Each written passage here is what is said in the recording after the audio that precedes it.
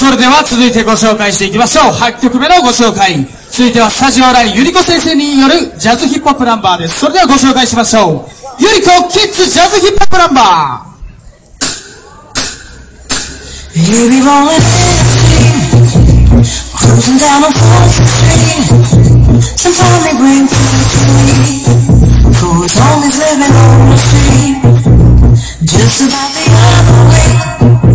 I bumped into him on the street, and he didn't even stop to speak. That's what he did on 4th Street. Oh, I've been creeping out the way, keeping your soul out for every day. Just that you would notice me, and now I said I.